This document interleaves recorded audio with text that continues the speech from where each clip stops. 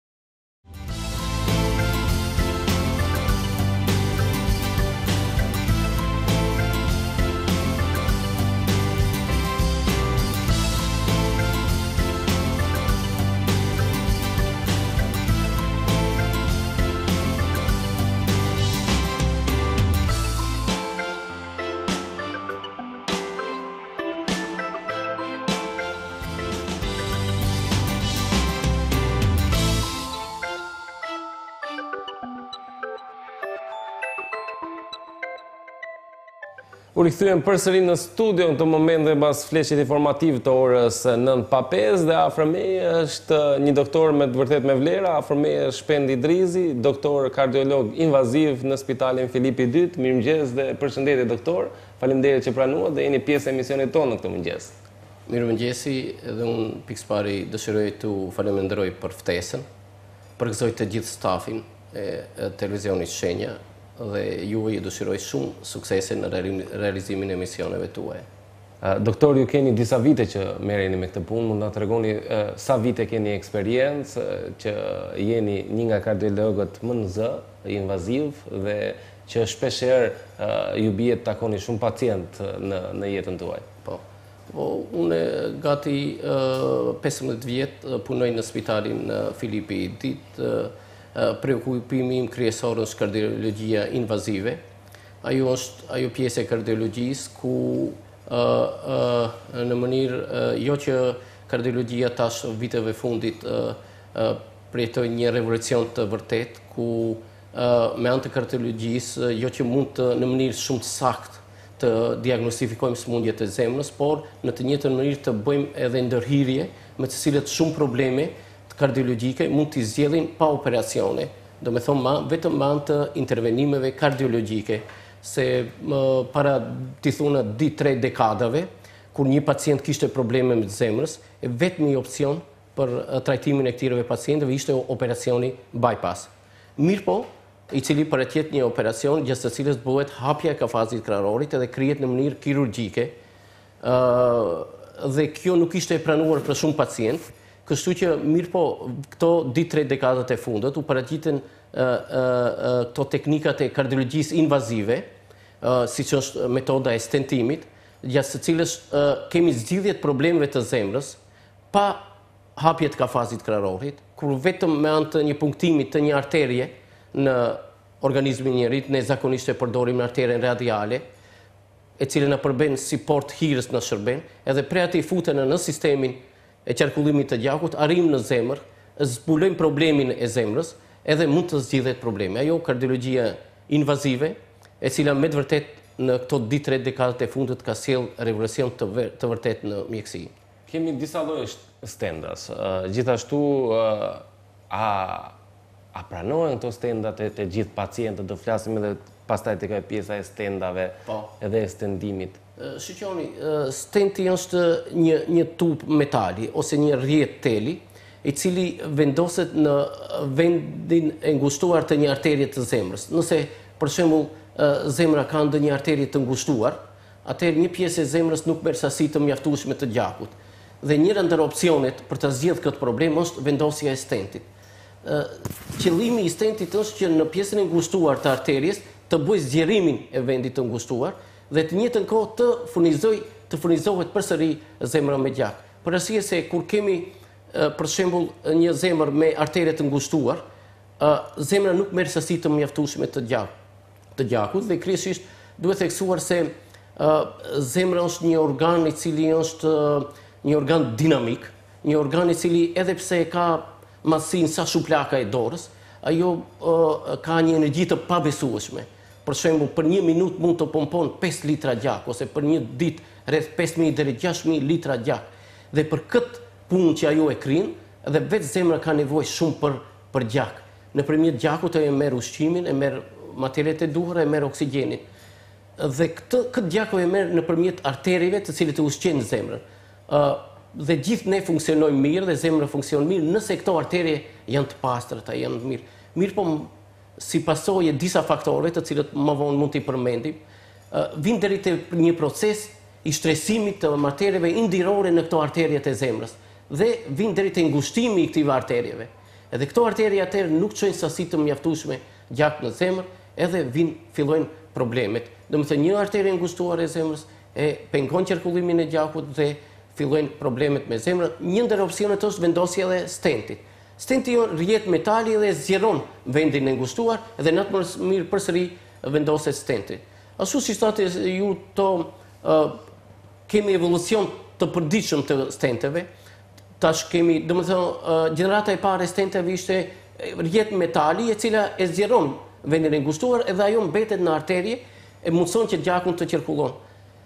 Gjenerata e ditë e stenteve është ku përveç rrjetëve të metalit, ato, ajo rrjetë metali është, është e mbushur me medikament mrenda, kështu që kur e vendosim stentin, në arterien e zemrës lëshohet një medikament e cila mundëson që Mos të vijë te ringushtimi përsëri i stenteve, se te stentet e mëparshme, ato të gjeneratës së parë, mbasi e vendosim stentin, te tetëdhjetë për qind është ishte procedura e suksesshme.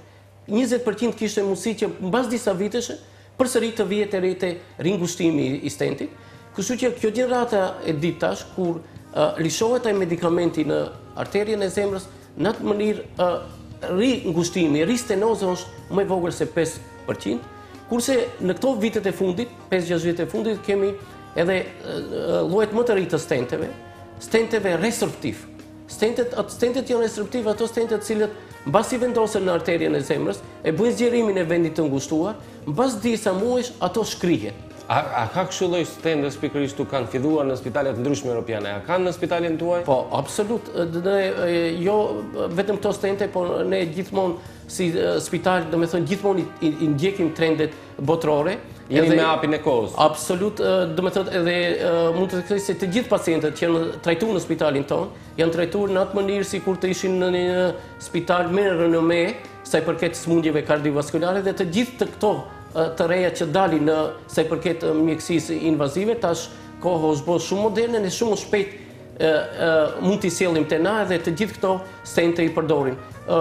Problemi, ky stenti resorptiv tash përdoret kryesisht te të rinjtë, kryesisht që nuk kanë kalcifikate në arteriet e zem, e zemrës dhe ato që vijnë me sulme në zemër, për arsye se sulmi i zemrës është një bllokim i arteries së zemrës edhe njëra nga mënyrat është Pacienti kur fiton sulm në zemër në kuadër prej 6 orës duhet të dërgohet menjëherë në spital. Me ç'rast duhet të bëhet një ë një ekzaminim, ekzaminim i cili njihet si koronografi urgjente, me ç'rast bëhet incizimi i arterieve të zemrës dhe shihet cila arterie është bllokuar. Dhe në qoftë se këtë ne e kryjmë për në 6 orët e para, ne menjëherë e shohim se cila arterie është e bllokuar dhe mund të bëjmë vendosjen e stentit në vendin e bllokuar, e cila i mundëson që përsëri zemra të marrë gjak dhe në këto raste këto stentet resorptive janë shumë më të mirë, sepse e zgjidhin problemin akut edhe në perspektivë mandej ristenoza është shumë më e vogël, për arsye se pas disa muajsh ky stent në prej temperaturës së organizmit kjo këto stente shkrihen. Edhe faktikisht nuk e kemi më si trupi i huaj se bëhen njësh me, me trupin më Absolut se përsëri Stentet të themi që janë prej metali ato përsëri paraqesin një trup të huaj në organizmin e njeriut, kështu që tendenca e këtyre stenteve të reja janë që, domethënë, të zgjidhë problemin akut që është te organizmi, edhe mandej të zhduket mos jetë në organizmin tonë. Po si mund të ruhemi sadopak nga smundjet kardiovaskulare, kardiovaskulare, në fakt? Po, po shikoni, smundjet kardiovaskulare mund të themi se janë smundje shumë të shpeshta, Por karakteristika e smundjeve kardiovaskulare është se smundjet e zemrës janë kryesisht smundjet, të cilat karakterizohen me vdekshmëri të lartë. Mund të themi se sot ato janë vrasësi kryesor i njerëzimit në botë, shkaktar kryesor i vdekjeve. Çdo i treti person sot në botë vdes nga smundjet kardiovaskulare. Po ashtu është edhe rasti në Republikën e Maqedonisë, ku mund të themi se dikund rreth 60% të njerëzve Në Republikën e Maqedonisë vdesin si rezultat i smundjeve kardiovaskulare. Kështu që mund të themi këto smundje paraqesin në fund një epidemi të vërtetë. Shkaku kryesor i këtyre smundjeve është mënyra bashkëkohore e të jetuarit. Këto janë smundje të shoqërisë bashkëkohore. Për arsye se sot ne të gjithë e dimë se në çfarë, si jetojmë sot, në çfarë mënyre të ushqimit sot ne ushqehemi, si punojmë, punojmë në kohë. Streset gjithashtu, punojmë në kohë influencojnë. Absolut. Punojmë në kohë kur stresi është përditshmëria jonë. ë uh, mandej kur i krasojmë disa shprehi siç është pirja e duhanit, ë uh, përdorimi i alkoolit, aktiviteti i dobët fizik. Domethënë gjithnjë punojmë punë ku uh, uh, jemi jemi ulur, nuk kemi aktivitet të duhur fizik. Po ashtu Është shumë e rëndësishme mënyra e të ushqyerit. Sot ne përdorim një ushqim shumë yndyror, një ushqim perëndimor, ku të them kur përdorim, kur kemi përdorim të tepër të ushqimeve me prejardhje shtazore, përdorim të tepër të produkteve yndyrore të qumështit, Përdorim po ashtu i përdorim shumë prodhimet e mishin e kuq, për shembull, a shumë pak e përdorim mish mishin e peshkut, për shembull, shumë pak i përdorim pemët dhe perimet dhe gjithë kjo gjendje, domethënë çon deri te një çrregullim të metabolizmit, rritja kur ne përdorim kështu lloje ushqime, kur nuk kemi aktivitet të duhur fizik, kur përdorim kemi përdorim të tepër të duhanit. Gjithë kjo gjendje çon deri në një çrregullim të metabolizmit të njeriut. Kemi atëherë kemi ngritje të shtypjes së gjakut, kemi ngritje të yndyrnave në gjak. Ë këto janë faktorë të cilët bëjnë shtresimin e yndyrnave në enët e gjakut. Dhe vin këto gjithë këto procese e favorizojnë Ateroskleroza, ateroskleroza është një sëmundje e cila bën dëmtimin e enëve të gjakut, duke shtresuar materie yndyrore në enët tona të gjakut dhe bën një ngushtim të enëve të gjakut për shembull 60-70%. Nëse ne nuk shërohemi, nëse ne vazhdojmë të jetojmë në këtë mënyrë, për arsye se shumica e këtyre faktorëve, siç është shtypja e gjakut, siç janë yndyrnat në gjak, shumica e njerëzve nuk kanë dhe simptome, 90% të njerëzve të cilët kanë shtypje të gjakut, të lartë, të cilët kanë yndyrna në gjak, nuk kanë simptome. Ato duhet të shkojnë te mjeku, të bëjnë analiza përkatëse. Analiza përkatëse të vërtetojnë se a kanë a s'kanë. Shumica edhe nuk shkojnë te mjeku, nuk bëjnë analiza, nuk e dinë edhe se kanë shtypje të lartë, nuk e dinë se kanë yndyrna në gjak. Kështu ato jetojnë, por këto procese ndikojnë në dëmtimin e enëve të gjakut, me ç'rast bëhet shtresimi i materieve yndyrore, ngushtimi i arterieve të zemrës, e në një moment mund të vijë edhe bllokimi. i arteries edhe atëherë vjen bllokimi i një arterie të zemrës do të thotë një pjesë e zemrës mbetet pa gjak, pa ushqim, ajo do të thotë infarkt apo dëmtim apo vdekje një një një një e, e muskulit të zemrës. Kështu që kryesisht ë uh, armikët më i madh i zemrës dhe enëve të gjakut janë disa faktorë që duhet t'i numërojmë, që të gjithë edhe shikuesit tuaj duhet të dinë, ato janë pirja e duhanit, Shtypja e lartë e gjakut, si faktor i dytë. Faktori i tretë është çrregullimi i yndyrnave në gjak. Faktori i katërt është aktiviteti i dobët fizik. Faktori i pestë është pesha e madhe trupore, sëmundja e diabetit. Kështu që të gjithë këto faktorë në masë të madhe e rrisin rrezikun nga nga sëmundjet e zemrës. Domethënë, ne nga gjithë personat mund t'i veçojmë se cilët janë ato të cilët do të vuajnë nga sëmundjet e zemrës. Domethënë, kryesisht janë persona duhanpirësit, ato që kanë sëmundje të sheqerit, ato të cilët kanë shtypje të lartë të gjakut, por nuk e shërojnë. Ato të cilët kanë nivele të larta të kolesterolit, po, ajo, siç janë, sa i përket shtypjes së gjakut, është një interesant ajo dhe një statistikë botërore që thotë se vetëm 15% të njerëzve të cilët kanë shtypje të lartë të gjakut e shërojnë në mënyrë adekvate. Shumica nuk e dinë se kanë shtypje të gjakut, edhe as që marrin medikamente, Po disa që e dinë që kanë shtypje të lartë të gjakut, marrin medikamente, por marrin kohë pas kohe medikamente. Që nuk, nuk janë të rregullt, nuk janë të rregullt. Absolut, ajo është njëlloj sikur me, mos me marrë.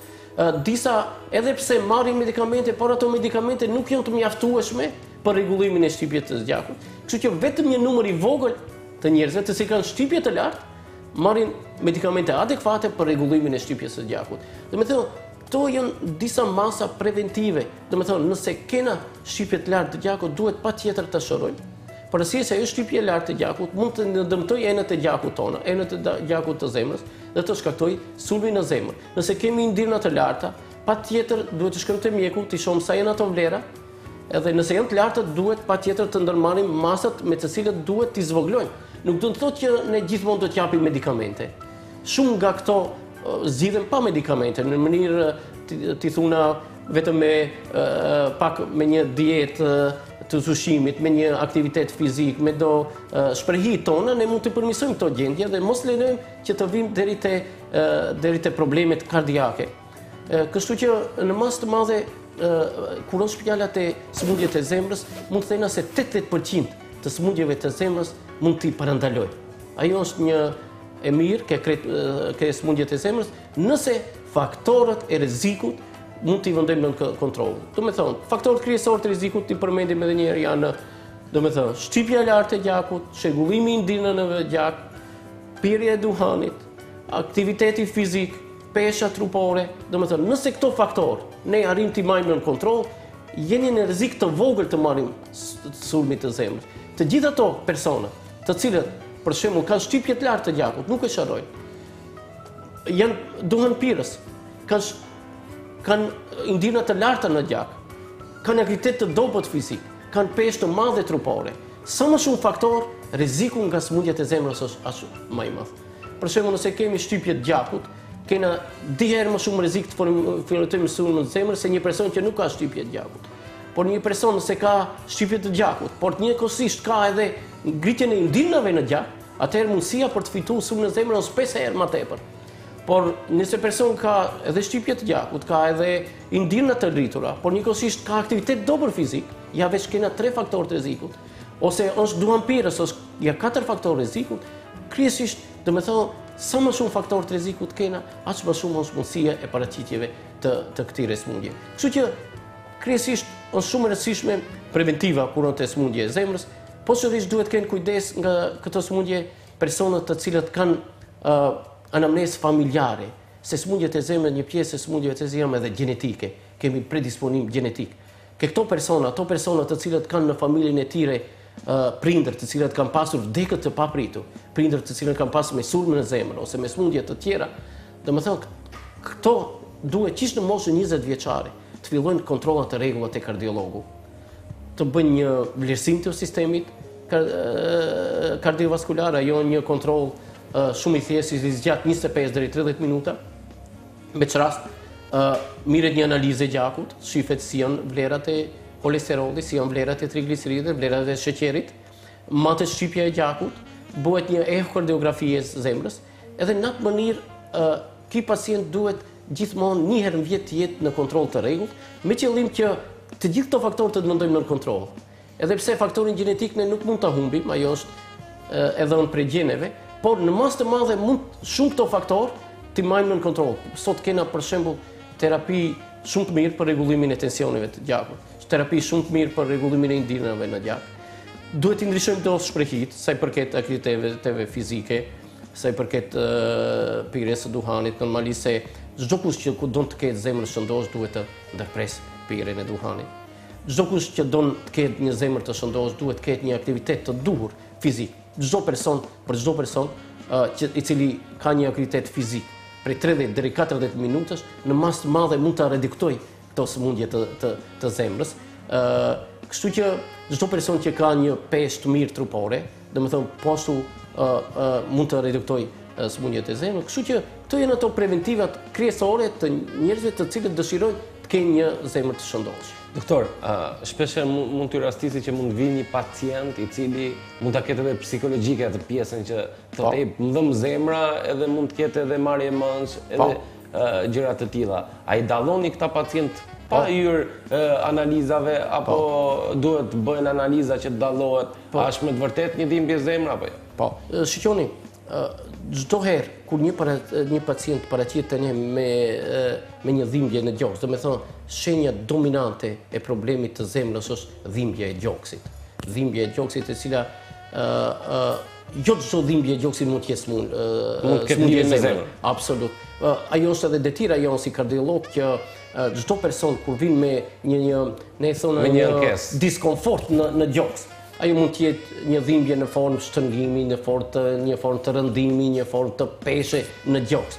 Ë qëllimi jonë kryesor është të të vërtetohet se kjo dhimbje është e lidhur me zemrën apo është prej ndonjë faktor tjetër. Mund të jetë ndonjë mialgji, mund të dhimbje reumatologjike, mund të mund të jetë ndryshime, gastrite të ndryshme, neuroza, psihoze, kështu me radhë. Mirëpo qëllimi kryesor është që të vërejmë që është kjo dhimbje si shenjë paralajmëruse për probleme me zemrës. Kështu që te këto persona, patjetër me bo një ekzaminim kardiologjik, pikësëpari bëhet një elektrokardiogram, e cila e ka çdo ambulantë, e cila na jep informatat e para për zemrën, Që është ndoshta, apo jo? Absolut. Mirëpo nuk mund vetëm me elektrokardiogram të përfundojmë se është gjithçka në rregull me zemrën, patjetër duhet të vazhdohet edhe me ehokardiografinë, e cila na jep informata shumë më të mdhaja për zemrën. Dhe më të hollësishme, kuptohet. Absolut. Dhe në bazë të këtyreve ne mund të vërtetojmë se është kjo dhimbje prej zemrës ose jo. Po sidoqoftë, çdo person, te i cili ekziston një farë diskomforti në gjoks, duhet të paraqitet te mjeku kardiologu, të vërtetojë a është kjo e lidhur me zemrën ose jo. Është shumë e rëndësishme të mos jetë e zemrës, por të vërtetojmë ne mos jetë e zemrës se Mos neglizhojmë me pak fjalë. Absolut se një ndër shenjat paralajmëruese të sulmit në zemër është kjo dhimbja tipike. në mes të kafazit krarorit. Dhe zakonisht ja tash mund unë do t'i tregoj disa karakteristika e cila e dallon dhimbjen e gjoksit nga smundje tjera dhe nga smundjet e zemrës. Dhimbje tipike e zemrës është në mes të kafazit krarorit, ajo paraqitet gjatë sforcimeve fizike. Nëse për shembull ne fillojmë të bëjmë një sforcim fizik, ecje, për shembull, Mbas disa minutave fillon një shtrëngim në gjoks, e cila zgjat disa minuta dhe ndërpritet kur ne pushojmë. Ajo është shenjë tipike për problem me zemrën dhe të gjithë këto persona kur të kenë këtë problem. Nëse e kap vetvetiu qoftë duke ndejtur ulur. Jo, jo, ajo nuk është prej zemrës. Zakonisht nuk është prej zemrës, domethënë, dhimbje të cilat zgjasin disa sekonda nuk janë prej zemrës. Dhimbje të cilat janë Për shembull, mund ta lokalizojmë me një gisht nuk janë prej zemrës. Dhimbjet e zemrës zakonisht janë të përhapura në kafazin e krarorit, në dhimbje të cilat gjatë lëvizjeve të të trupit ose gjatë kollitjes paraqiten dhimbje, ato nuk janë prej zemrës. Domethënë, dhimbjet kryesore prej zemrës janë dhimbje të cilat paraqiten gjatë sforcimeve fizike. Nëse dhemb dhe lëviz në jo, momente jo, zakonisht ai nuk ka prej zemrës. Mirpo çdo person që ka dhimbje të tilla duhet paraqitet të bëjë një kontroll, të shifet më saktësisht. Ne tash i tregojmë në mënyrë orientuese se cila është shenja tipike e zemrës. Dhe të gjithë këto persona që i përmenda që do të ndinë kësi lloj simptomi të dhimbje në gjoks, shtrëngimi në gjoks, e cila zgjat deri 10 deri 15 minuta quhet angina, angina pectoris ose dhimbja nga nga zemra. Kjo është gjatë anginës, ndërsa gjatë sulmit në zemër kemi të bëjmë me një dhimbje shumë të fortë në kafaz të krarorit, Dhimbja e cila zgjat mbi tridhjetë minuta. Edhe gjatë kësaj dhimbje, përveç dhimbjes, paraqitet edhe një simptomë tipike, ajo është djersitje. Nëse ne te një i afërmi jonë vërejmë se paraqitet një dhimbje e fortë në mes të kafazit krarorit dhe fillon një djersitje e ftohtë, në masë të madhe mund të konkludojmë se pacienti përjeton sulm në zemër. Edhe duhet menjëherë diçka duhet të ndërmarrim. Domethënë këto janë dy simptomet kryesore të të të të sulmit në zemër, që nuk durojnë, nuk guxojnë të të pritet. Shumica te ne njerëzit presin. Jo tash mos ka mos ka ndonjë grip ose diçka, edhe humbet shumë kohë. Kur është fjala te sulmi në zemër, ë koha është shumë e artë. Ne kemi është e limituar. Është e limituar. 6 orë ka zemra mbasi mbyllet ena e gjakut, do të vijë ai dëmtimi definitiv. Nëse në kuadër të gjashtë orëve ne diçka ndërmarrim, mund ta hapim arterien, domethënë duhet të bëhet koronografi urgjente, menjëherë duhet të dërgohet pacienti në spital, futet në sallën e angiografisë dhe bëhet koronografia urgjente dhe menjëherë hapet arteria, se ajo është një mbyllje e butë në nëpërmjet të telave, nëpërmjet të disa kateterëve hapet edhe aty i vendosim stentin. Edhe në atë moment zemra përsëri shpëton nga nga nga sulmi në zemër, por si se sulmi në zemër ka një ë siç thashë edhe një vdekshmëri, një e treta e personave që përjetojnë sulm në zemër vdesin. Edhe atë dikun të ë 25% vdesin në dy orët e para të paraqitjes së sulmit në zemër. Disa për fat keq nuk mund të arrijnë deri te na që ne ta shpëtojmë jetën, disa vdesin në punë, disa vdesin në rrugë, disa vdesin në shtëpi edhe nuk mund të arrijnë. Prandaj është shumë e rëndësishme këto preventiva e rëndësishme. Domethënë, kur të kemi diçka... Marje e masave Marje e masave, kur kemi diçka një lodhje që ma përpara nuk e kena pas, për shembull. Një dhimbje e cila na paraqitet në gjoks, gjatë një sforcimi fizik, e ma përpara nuk e kena pas. Ajo është koha të ku të ndërmarrim masa. Atëherë koha kur duhet të shkojmë te mjeku, të vërtetojmë si, si është gjendja e zemrës tonë. Kështu që të jenë ato preventivat kryesore për pacientët në sulmin në zemër dhe kjo është e vërtetuar për shembull në shtetet perëndimore ku është kardiologjia preventive shumë e theksuar, sëmundjet e zemrës janë në rënie. Përkundrazi në vendin tonë, vendet e Evropa juglindore, vendet në zhvillim, domethënë, këto sëmundje janë gjithnjë në shkojnë duke, duke u rritur. Mbase jemi neglizhentë, doktor. Neglizhentë dhe pre, preventiva është e dobët. Domethënë, kryesisht duhet të theksoj që pacientët të cilët janë të informuar, mund të mbrohen nga sulmi në zemër, nga sëmundjet në zemër, kurse të gjithë ato të cilët nuk janë të informuar, domethënë që kanë ato faktorë të rrezikut, janë në, në rrezik të madh që të jenë viktimë e vdekjeve dhe pasojave të sulmit në zemër dhe sëmundjeve tjera. Shpresojmë që të kemi treguar shumë gjëra në këtë 25-30 minutësh së bashku, unë ju falenderoj shumë, u munduam t'i shpjegojmë shikuesve dhe gjithë atyre që po na shohin, që mbase këto gjëra që ju shpjeguat dikujt mund t'i shpëtojnë dhe jetën nesër pasnesër. Absolut dhe ishte edhe kënaqësia ime të jem misafir i emisionit tuaj. Faleminderit shumë doktor dhe shpresoj pse jo t'ju kemi përsëri në studio. Me kënaqësi. Ishte kjo intervista me doktorin kardiolog Shpend Idrizi. Unë shpresoj që të keni kaluar mirë në këtë minutazh. Do ju lëj në vazhdim me recetën e ditës, me një menu që na vjen nga restorante të ndryshme. Çdo ditë tashmë ju jeni mësuar, pse jo ta bëni edhe në shtëpinë tuaj një menu të tillë, siç ju afrojnë, ju ofrojnë shefat e ndryshëm të restoranteve që ne i vizitojmë. Dhe ne shpresojmë që të shihemi përsëri nesër në të njëjtin orar, në të njëjtin televizion. Deri atëherë, mirupafshim!